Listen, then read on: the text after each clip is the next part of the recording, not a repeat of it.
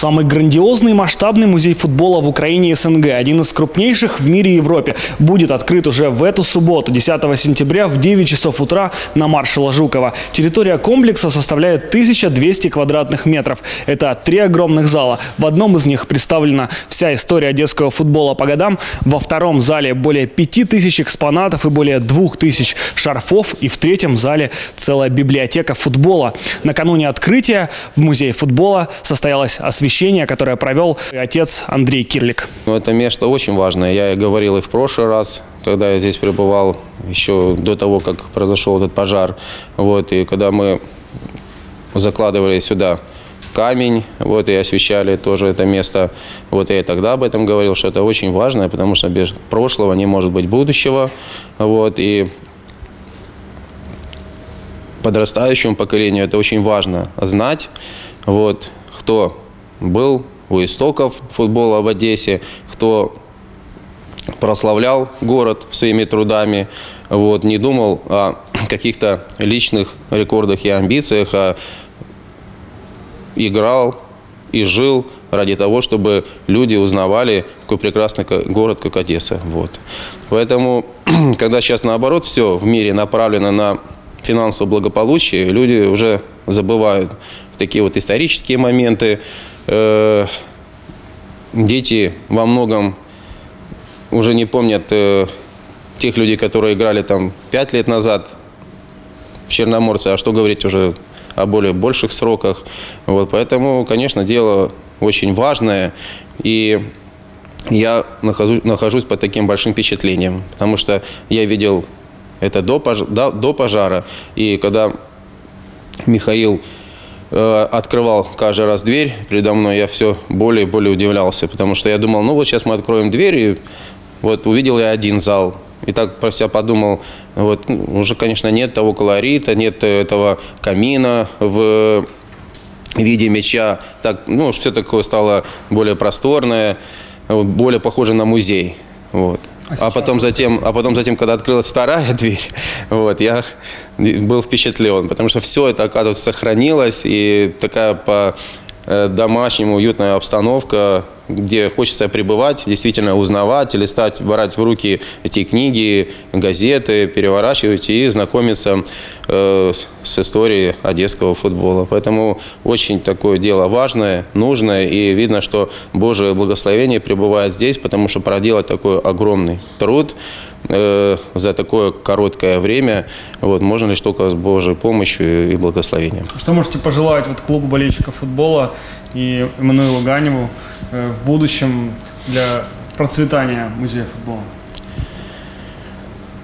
Ну, я думаю, что музей будет процветать, потому что огромное количество детей занимается футболом. И если э, поставить правильно работу с тренерским э, коллективом различных школ, то, конечно же, сюда будут приходить постоянно и курсы. И если ребенка приучить к тому, что он, он играет не только ради себя, вот, а и ради города, и ради тех людей, которые уже вложили свою, свою, можно сказать, жизнь в прославление и футбольного клуба, и города.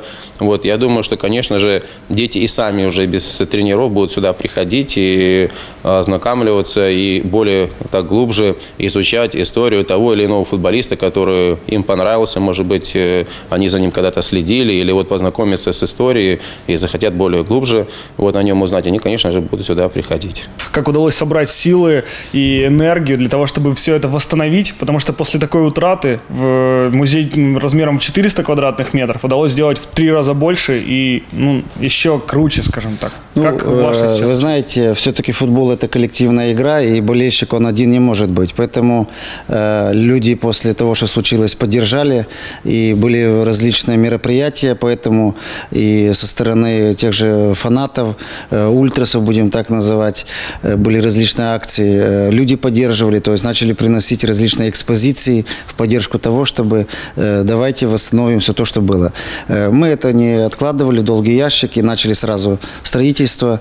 Временем, конечно, войны немножко где-то какие-то эпизоды мы притормозили, но сегодня мы уже открываем двери, и те экспозиции, которые собралась за три года, честное слово, я не ожидал, что люди с такой душой, трепетом к этому отнесутся и столько будут приносить экспозиции э, личных вещей, потому что э, здесь это э, собрано в этом музее частица жизни людей. И люди приносят э, действительно дорогие им вещи э, личного пользования, именные свои там вещи, которые дороги были, дорогие им, и приносят для того, чтобы показать, потому что дома смотрит только один он, либо его гости, а здесь будут видеть весь город, все футбольная страна, которая здесь будет приходить. И много, допустим, я могу отметить, что э, человек пришел, попросил еще э, разрешения разместить его коллекцию. Э, Мотов Игорь Николаевич принес в клуб э, 384 футболки э, с плеч футболистов. То есть я такой коллекции э, пока не задумывался, что можно собрать такую коллекцию, потому что мое хобби это шарфики, а у человека хобби это футболки. И человек просто принес и говорит, давайте разместим, и чем оно у меня дома э, будет пылиться, либо в ящиках сложено, э, и э, он пришел с женой, принесли 6 мешков, э, мы их разместили в той композиции, в которой он это видел и он это хотел. И такие много коллекционеров, коллекционеры значки приносили, э, мы им давали возможность самим это расставлять в той композиции, в которой они хотят. Литературу, конечно, э, люди просто приносят, вытряхивают э, чемоданы, гаражи, какие-то кладовки, то есть у каждого по-разному оно хранилось, но люди приносят и говорят, чем вам помочь еще, что собрать, что нужно, и очень много внимания уделяет. Мы говорим, что нужно, где какие-то пробелы, если люди с удовольствием приносят экспозиции и пополняют то, чтобы э, наше дело, которое мы задумали сделать. Какие элементы вот с прошлого э, музея э, удалось, э, скажем так, восстановить и ну, сохранить в том виде, в котором они... Ну, вы знаете, наверное, э, каждый человек как-то себя э, планирует и делает. И одна из тех, э, допустим, вещей, которые, чтобы не затрагивала душу э, и не трепетала, что было, э, я этот зал сделал все так, как было э, раньше. И те вещи, которые я придумывал, которые я делал, и людям они были дороги, например, тот же камин, я восстановил точно в первозданном виде эту композицию, которая она стоялась. И могу сказать, что э, тогда э, молодые наши еще учились э, скульпторы, делали эту композицию Буцы, э, копию Соленко, золотая Буца. И сегодня они после, когда знали, что, узнали, что мы э, восстанавливаем все, ребята уже молодые работники пришли и говорят, вы нам на- дайте материал, а мы все сделаем бесплатно. Э, Мы таким э, методом несем свою лепту в создание музея. И таких э, моментов очень много. Кто-то приходил и пр- просто предлагал услуги, приходил, шпаклевал стены. Кто-то приходил, помогал уже расставлять. То есть очень много таких людей просто приходили и помогали для того, чтобы это восстановить. А вот о экскурсиях и встречах с ветеранами, которые будут проходить. Да, мы уже много работали и приглашали ветеранов, и у нас была эта мысль, и ветераны это поддержали, то есть они нам будут помогать в проведении экскурсий. Ветераны э, с трепетом к этому относятся и говорят спасибо за доверие, мы наоборот, нас это будет радовать. И вы знаете, опять же, э, наша цель э, не давать человеку потухнуть в себе, потому что он жив. И те моменты футбольные, которые были, он живет, и они сегодня приносят те вещи, какие-то вырезки из газет о нем, которые написаны, э, они дорогие ему, и он их читает по несколько раз, там, может быть, в году, но он этим живет.